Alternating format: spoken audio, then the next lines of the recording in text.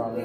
But, well, it has some things kind of in the uh, reading and talking about a hammer. And, yeah, uh, I think that's yeah. That was going to be the kids' uh,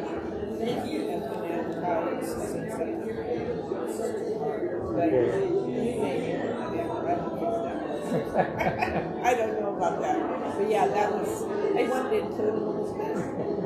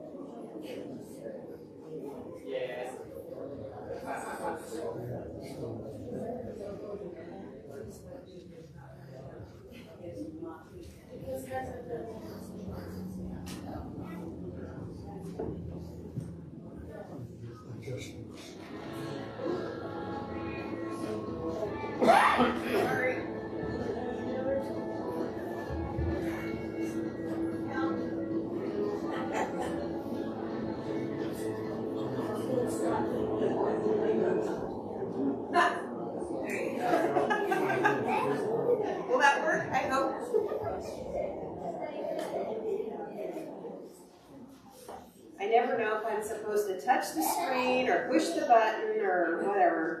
It- always touch the screen and then sometimes you press the button. I know. Well, and, and I touched the screen, and this time it was the wrong one.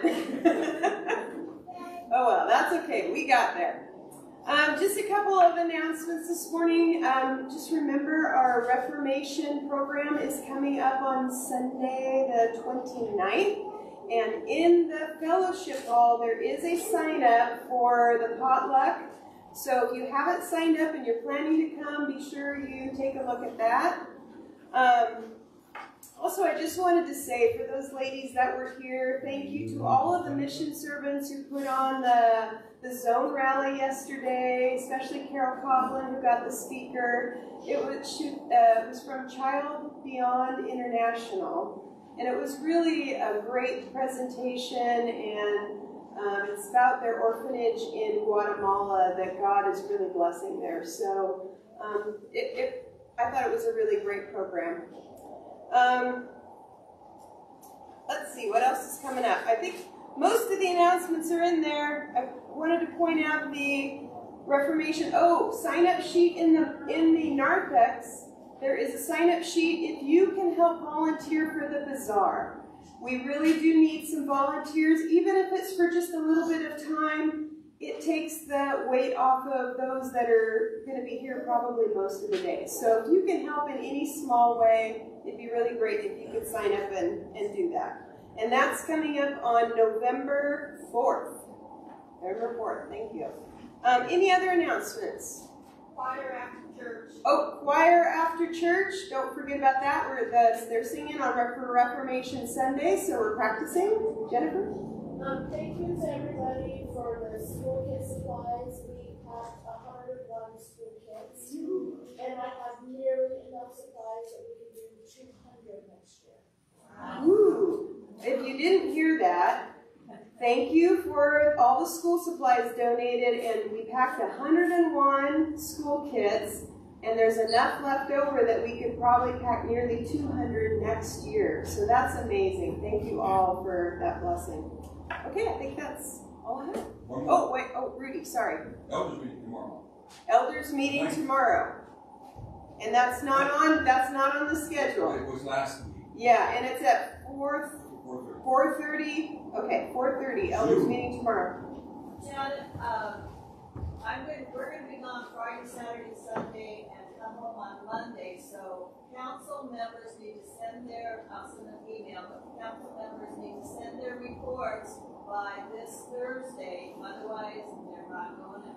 No, Council members, did you hear that? If you have a report that you're supposed to send out, it needs to be to Carol by Thursday or else it's not going to be in the meeting. So please, please be sure to do that. Thank you very much.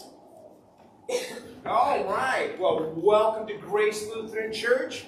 Let us start off like. Yeah, sorry.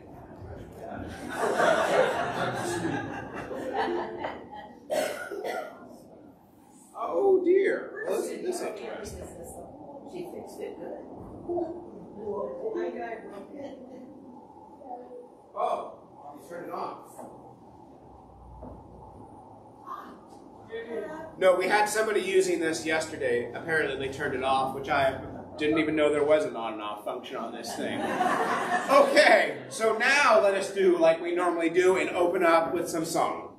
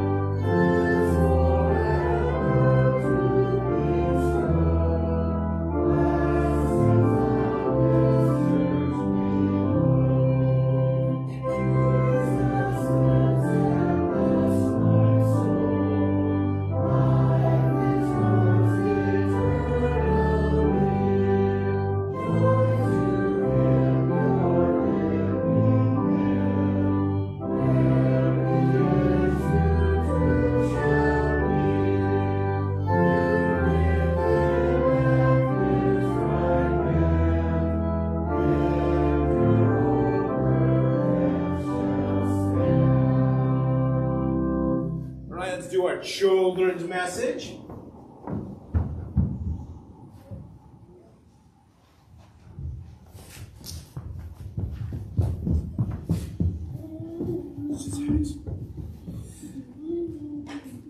All right. So, way back in the beginning, with Adam and Eve, God only gave them one command do not eat from the tree. And they both knew it. Well, one day, Eve was out there in the garden, and a snake came to her. And who was that snake? The devil. The devil, right. And the devil said, Eve, what did God tell you? Eve said, We, and God, uh, and, I'm sorry. And the devil said, Look at that beautiful fruit. And Eve said, Oh no, we can't eat that fruit. We can't even touch it or we'll die. And the devil lied and he said, Oh no, you can eat it. And if you do it, you'll be as smart as God.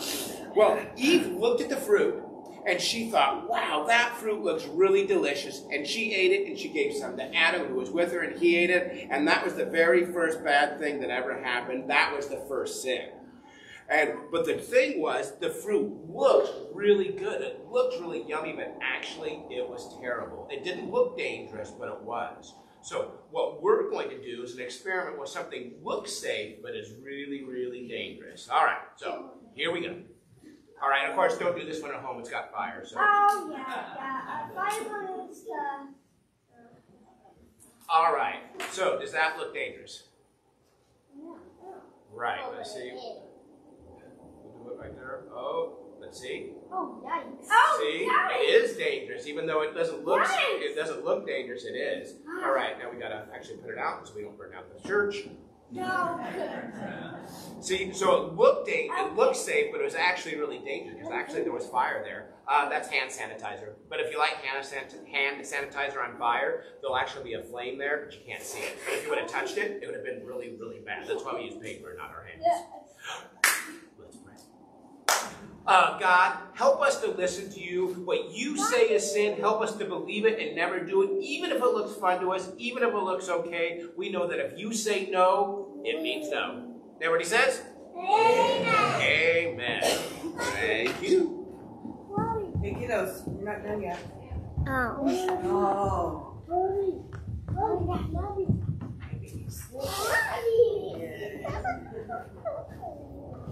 No. Can you give this to Pastor? Okay. you Oh, thank you. There you go. Pastor Appreciation Day. We got a song for you. Yeah, we, Ooh, uh, even better. we have a song, that's why you have this extra thing in the uh, bulletin today. It's the words to the song that we're going to be singing to the pastor.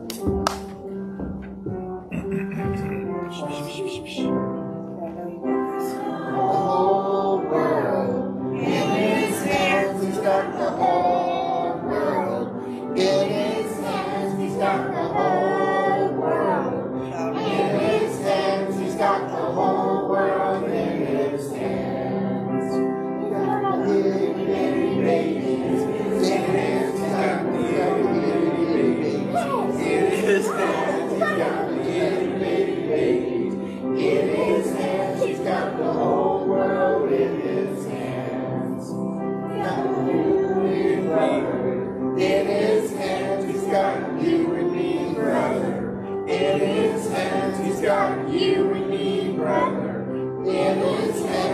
Got the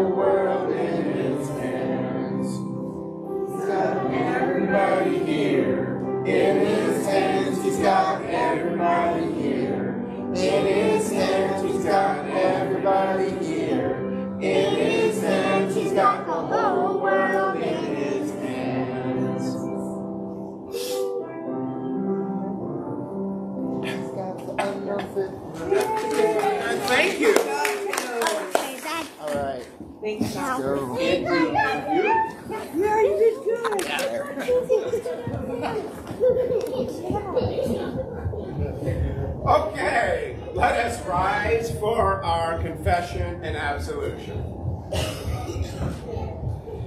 In the name of the Father, and of the Son, and of the Holy Spirit. Amen. Beloved in the Lord, let us draw near with a true heart and confess our sins to God our Father, beseeching Him in the name of our Lord Jesus Christ to grant us forgiveness. Our help is in the name of the Lord, who made heaven and earth. I said, I will confess my transgressions unto the Lord, and you forgave the iniquity of my sin.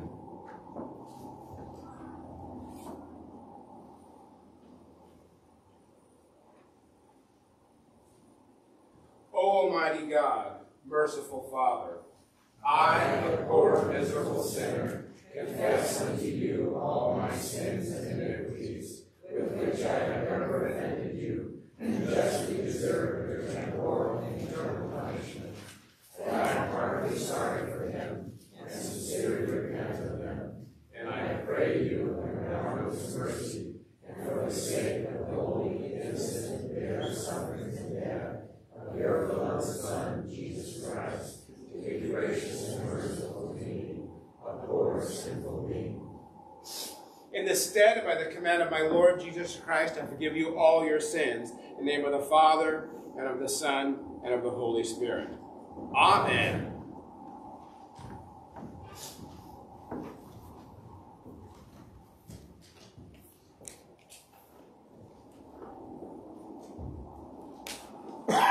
Our psalm today is Psalm 80. Restore us, O God of hosts. Let your face shine, that we may be saved. You brought a vine out of Egypt. You drove out the nations and planted it. You cleared the ground for it. It took deep roots and filled the land. The mountains were covered with its shade. The mighty cedars with its branches, It sent out its branches to the sea. and its shoots to the river, Why then have you broken down its walls? So that all who pass along the way pluck its fruit. The boar from the forest ravages it. And all that move in the field on it. Turn again, O God of hosts. Look down from heaven and see. Have regard for this vine. The stalk that your right hand planted, and for the son whom you make common for yourselves. They have burned it with fire. They have cut it down. They perish at the rebuke of your face. But let your hand be on the man of your right hand. The son of man you have strong for yourself. Then we shall not turn back from you. Give us life, and we will call upon your name. Restore us, O Lord of hosts. Let your face shine, that we may be saved.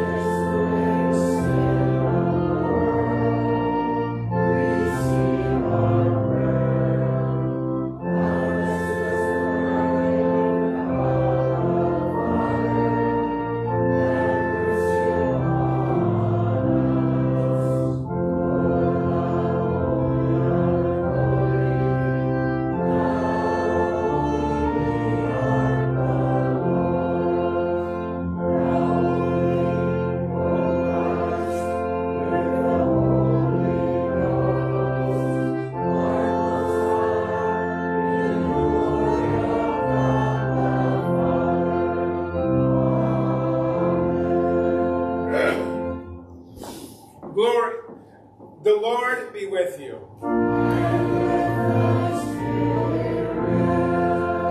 Let us pray. Gracious God, you gave your Son to the hand of sinful men who killed him. Forgive us when we reject your unfailing love and grant us the fullness of your salvation through Jesus Christ, your Son, our Lord, who lives and reigns with you in the Holy Spirit, one God, now and forever.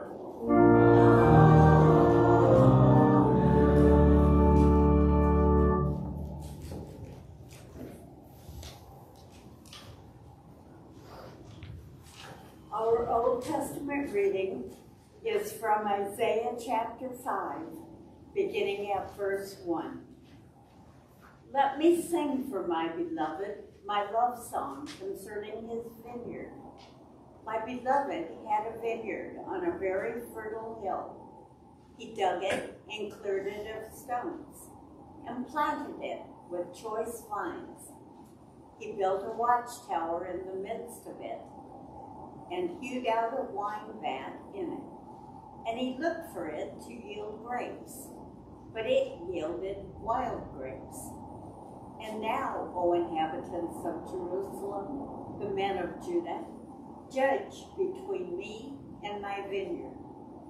What more was there to do for my vineyard that I have not done in it? When I looked for it to yield grapes, why did it yield wild grapes? And now I will tell you what I will do to my vineyard. I will remove its hedge, and it shall be devoured. I will break down its wall, and it shall be trampled down. I will make it a waste. It shall not be pruned or hoed, and briars and thorns shall grow up. I will also command the clouds that they rain no rain upon it. For the vineyard of the Lord of hosts is the house of Israel, and the men of Judah are his pleasant planting. And he looked for justice, but behold, bloodshed, for righteousness, but behold, an outcry. This is the word of the Lord. Thanks be to God. Our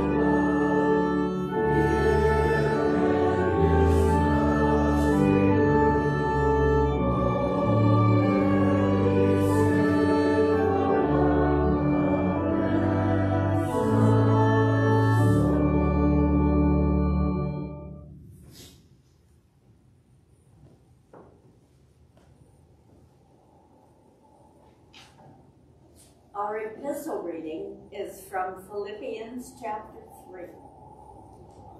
If anyone else thinks he has reason for confidence in the flesh, I have more. Circumcised on the eighth day of the people of Israel, of the tribe of Benjamin, a Hebrew of Hebrews, as to the law, a Pharisee, as to zeal, a prosecutor of the church, as to righteousness, under the law, blameless. But whatever gain I had, I counted as loss for the sake of Christ. Indeed, I count everything as loss because of the surpassing worth of knowing Christ Jesus my Lord.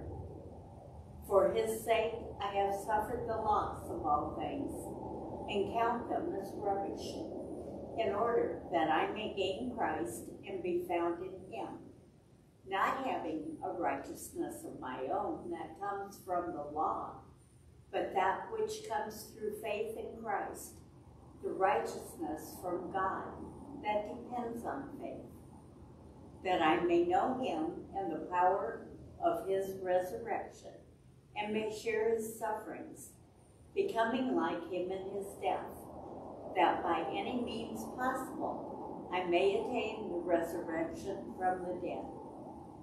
Not that I have already obtained this, or am already perfect, but I press on to make it my own, because Christ Jesus has made me his own.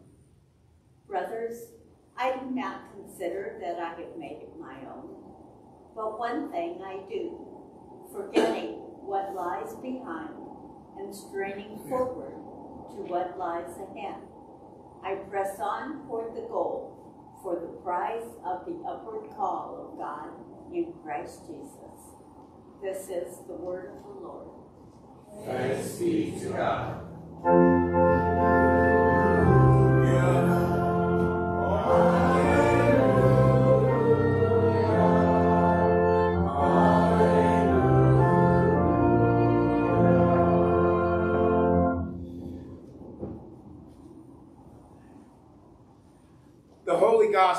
To St. Matthew, the 21st chapter.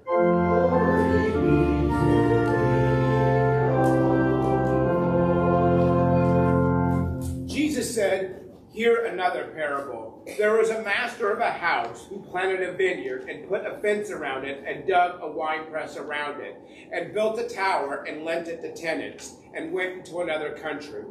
When the season for fruit drew near, he sent his servants to the tenants to get his fruit. And the tenants took his servants and beat one, killed another, and stoned another. Again, he sent other servants, more than the first, and they did the same to them. Finally, he sent his son to them, saying, They will respect my son. But when the tenants saw the son, they said to themselves, This is the heir. Come, let us kill him and have his inheritance. And they took him and threw him out of the vineyard and killed him. When therefore the owner of the vineyard comes, what will he do to these tenants? They said to him, He will put those wretches to a miserable death and let them out to a vineyard to other tenants who will give him the fruit in their seasons. Jesus said to them, Have you never read in the scriptures, the stone the builders rejected has become the cornerstone, and it was the Lord's doing, and it is marvelous in our eyes. Therefore, I tell you, the kingdom of God will be taken away from you and be given to people producing its fruits.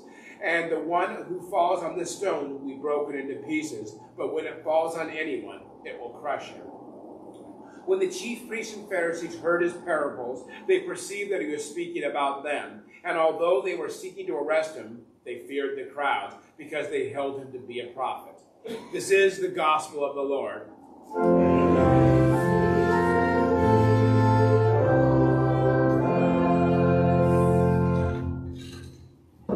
Now, please join with me as we confess our common faith in the Apostles' Creed.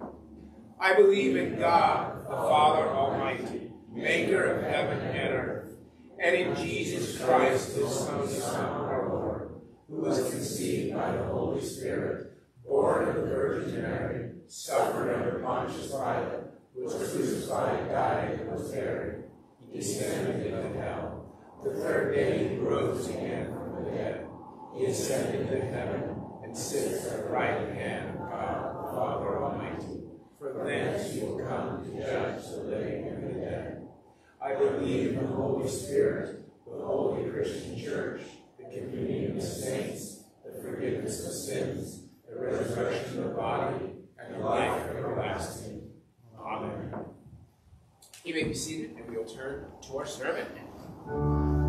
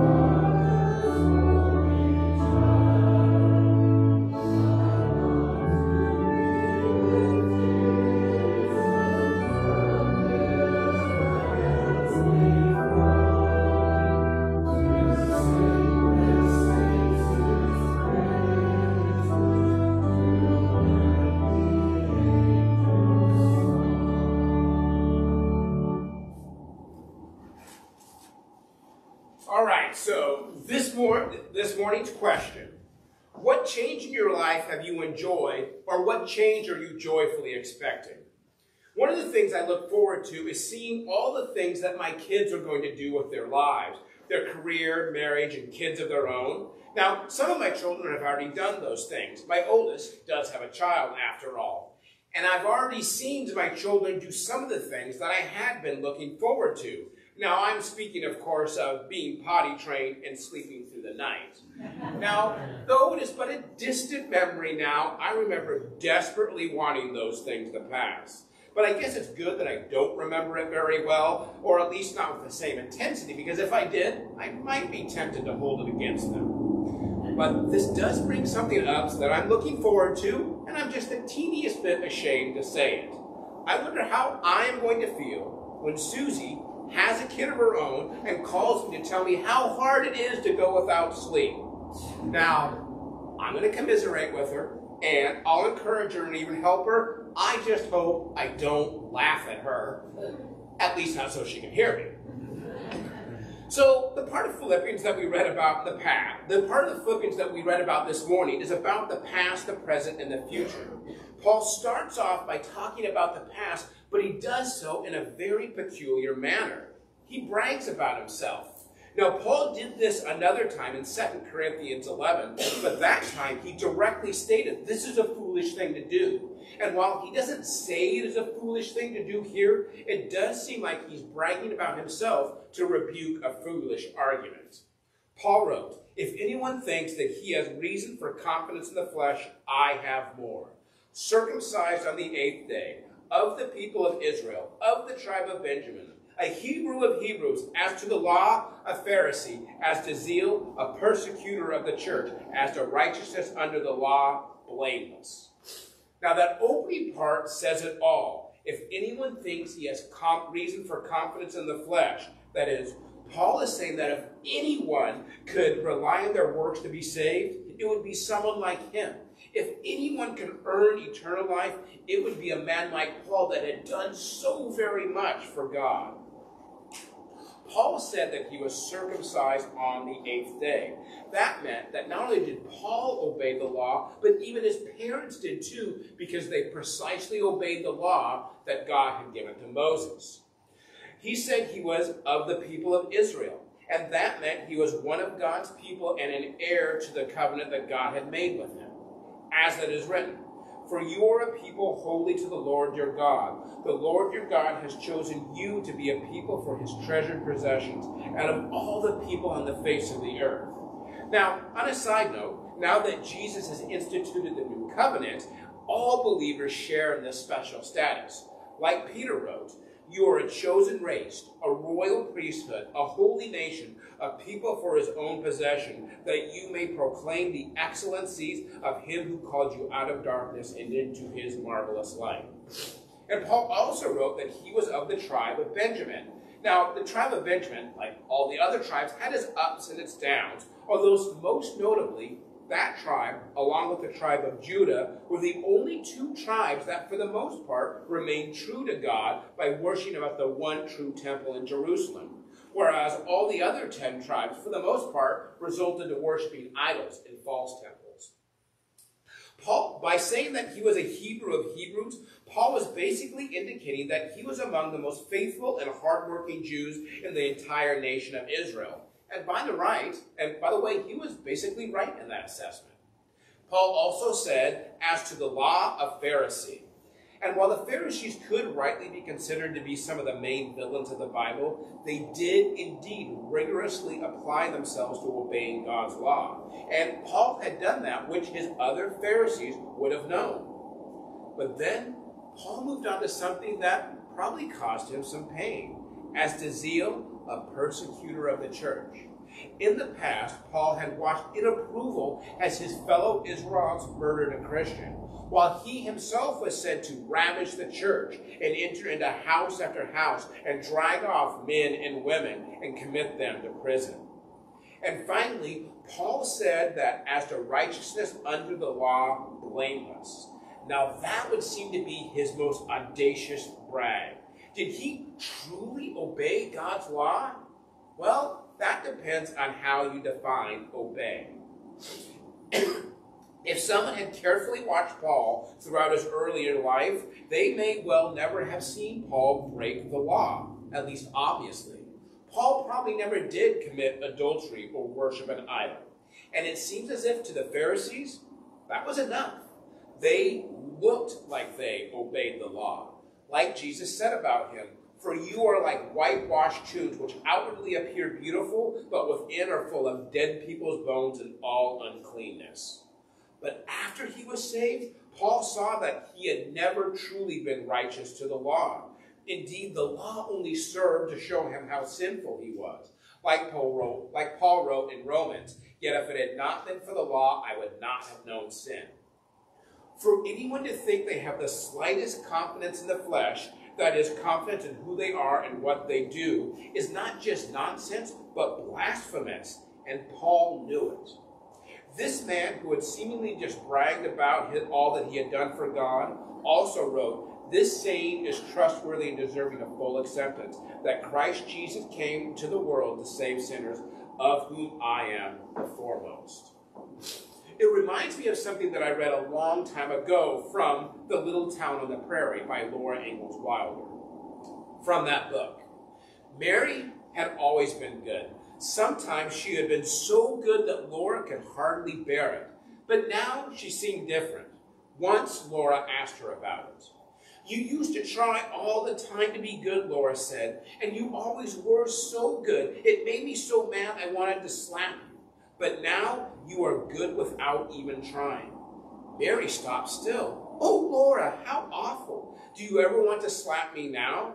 No, never, Laura said honestly. No, really and honestly, no, Mary. I'm just glad you're my sister. I wish I could be like you, but I guess I can never be. Laura sighed. I do not know how you can be so good. I'm not really, Mary told her. I do try, but if you could see how rebellious and mean I feel sometimes, you, what you could really, like, if you could see what I am really like inside, you wouldn't want to be like me. I can see what you're like inside, Laura contradicted. It shows all the time. You're always so perfectly patient and never the least bit mean. I know why you wanted to slap me, Mary said. It's because I was showing off. I wasn't really wanting to be good. I was showing off to myself what a good little girl I was and being vain and proud, and I deserved to be slapped for it. Now back to Paul. Paul sums up his thoughts about all the works of the flesh that he did in the past, and he brings us to his present life. Paul wrote, But whatever gain I had, I counted as loss for the sake of Christ. Indeed, I count everything as loss because of the surpassing worth of knowing Christ Jesus as my Lord. For his sake, I have suffered the loss of all things and counted them as rubbish. Paul is saying two things here. First, he counts everything that he just bragged about as loss. And second, he seems to go even further by saying he counts them as rubbish. But what did he mean? Are all the works that we do for Jesus meaningless? Or are they worse than that? Are they garbage to God as in though they offend him? But that just doesn't seem to be right. We know that good works are just that. They're good. And doing good works is essential. We are directly told to do that. For example, we are told that our faith must work through love. That is, if we truly have faith, then it will be seen in our acts of love towards one another. So instead, Paul seemed to be saying that in comparison to Jesus, everything that Paul did meant nothing. Like Paul said earlier in Philippians, Christ Jesus, being found in human form, he humbled himself by becoming obedient to the point of death, even death on a cross. What had Paul or anyone else ever done that could measure up to that? Certainly, Paul was willing to do anything for Jesus, even give up his own life. But it was a very different thing for Paul to sacrifice himself than it was for Jesus, as we're told. For our sake, he made him to be sin who knew no sin, so that in him we might become the righteousness of God. For us to try to be righteous on our own or try to earn eternal lives through our good works after Jesus paid for them in full on the cross is a terrible insult to him. Calling self justifying works like that rubbish is being far too kind. And also, not only were the good works that Paul did useless for Paul, they were dangerous for him. Relying on works is the deadliest trap there can ever be. The circumstances into which Paul was born and the things that Paul was doing seemed to be the best way, even the only way to earn eternal life. Paul was the best of the best, and he knew it, and so did other people. But that's the trap. Earning eternal life through works looks so possible, and it makes us look as good as possible. It's all about pride. It's elevating ourselves and devaluing God. It's saying sin well, that's a problem other people have. It is refusing to accept what Jesus said I am the vine, you are the branches. Whoever abides in me and I in him, he it is that bears much fruit. Apart from me, you can do nothing. Said that he gave up everything that he built his past life on, upon in order that I may gain Christ and be found in him, not having a righteousness of my own that comes from the law, but that which comes through faith in Christ, the righteousness from God that depends on faith. So, why did Paul count everything as a loss? Because he finally realized that what he gained from giving it up makes it look like nothing. Paul was in Jesus, and he had Jesus, and he had righteousness that comes through faith. When Paul said that he gained Jesus, it seems to be referring to the indwelling of the Holy Spirit, like we're told. For the law of the Spirit of life has set you free in Christ Jesus from the law of sin and death. And if Christ is in you, though although the body is dead because of sin, the spirit is life because of righteousness. And because you are sons of God, God has sent the Son of the Spirit into your hearts, crying, Abba, Father. Paul also said that he was in Jesus. Now that seems to refer to Paul being a part of the body of Jesus, as it is written. For just as the body is one and has many members, and all the members of the body, though many are one body, so it is with Christ. And now you are the body of Christ and individually members of it. And Paul also said the righteousness from God that depends on faith. And that is something that is attested to many parts of the Bible. Even way back in the beginning, in the book of Genesis, we're told Abram believed the Lord and he counted to him as righteousness. Indeed, Paul having righteousness by faith is the opposite of having confidence in the flesh. Now, what Paul wrote next turns the corner from his present life to his future life. He said that I may know him and the power of his resurrection and may share in his suffering, becoming like him in his death, that by any means possible I may attain resurrection from the dead. Now, Paul surely suffered in the sufferings of Jesus because both of them were treated with the greatest cruelty to those they came to save. People accuse Jesus of being in league with Satan, being insane, and of blasphemy. People tried to stone Jesus and tried to throw him off a cliff. And eventually, of course, some of the people that Jesus came to save crucified him. Paul went through similar ordeals. He was accused of causing riots, being a plague, profaning the temple. He was imprisoned more than once. People beat him with rods, made vows to kill him, and tried to kill him, and once stoned him and left him for dead. And of course, ultimately, Paul was killed for being a follower of Jesus. But as was said, that was Paul's present life. His future life was the resurrection from the dead. Clearly, that had not happened at the time that Paul wrote Philippians, but it most certainly would happen. And we are like Paul in that, in that we too are awaiting our resurrection. However, the first true resurrection has already come to pass. The other ones, they're going to come later, like we're told.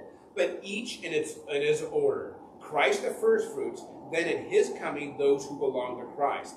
Then comes the end when he delivers the kingdom to God the Father after destroying every rule and every authority and power. When the final resurrection happens, it seems like it's going to happen all at once for every, both the saved and the unsaved alike. Like Jesus said, do not marvel at this, for an hour is coming when all who are in the tombs will hear his voice and come out. Those who have done good to a resurrection of life, and those who have done evil to a resurrection of judgment and it's all going to come to pass in but a moment, like we're told. Behold, I tell you a mystery. We shall not all sleep, but we shall all be changed. In a moment, in a twinkling of an eye at the last trumpet, for the trumpet will sound, and the dead will be raised imperishable, and we shall be changed. And we also know that there will be no more resurrections after that point, because there'll be no need for it, like Paul wrote elsewhere about Jesus. For he must reign until he has put all enemies under his feet. The last enemy to destroy is death. And the type of body that all of us, all of us believers will receive will make what we gave up, as Paul said, to be as significant as the loss of rubbish.